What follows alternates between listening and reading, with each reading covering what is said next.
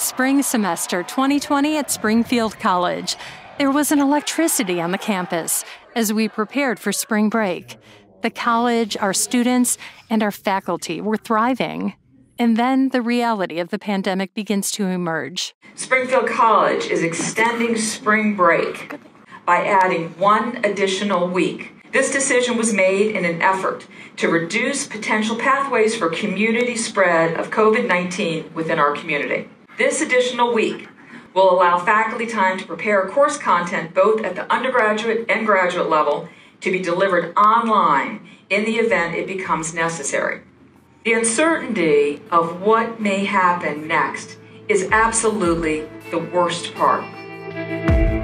In March 2020, along with the rest of the world, Springfield College quickly adapted to the fast unfolding pandemic that was changing the world.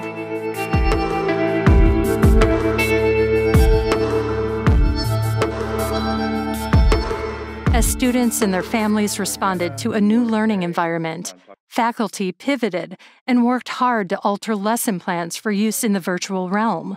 We're trying to design classrooms so that everybody remains safe. We're trying to design procedures so faculty can still deliver the same high quality educational content.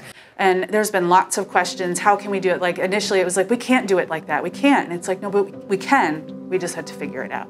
You know, jumping from plan to plan as we need to um, to make sure that our students get the education they deserve and they need.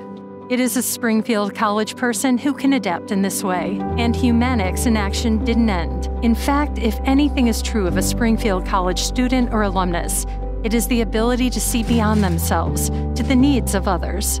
You know, there, there's no other way to, you know, use your spirit, mind, and body philosophy other than giving back to the community and the ones in need. You know, we just, we love to serve as much as we can, any opportunity that we do have. And the same can be said of the entire Springfield College community. The pandemic did not define us, but it strengthened our connection to our neighbors and to our humanics roots.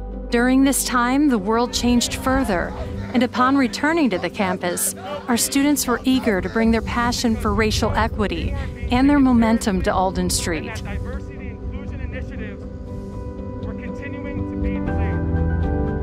Despite difficulties in following new regulations, our students embrace the situation with optimism and a necessary sense of humor.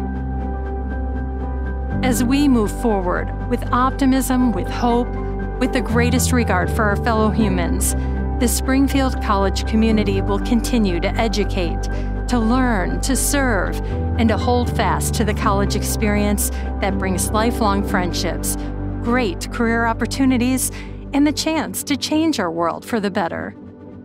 Optimism and resilience of our community the way so many have come together to connect with our students and make the last three semesters as Springfield College-like as possible.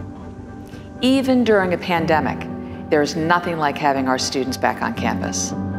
So much good happening in every corner of the campus, it's easy to focus on what we're missing. But let's also remember what we have to celebrate. Brighter days are ahead, my friends.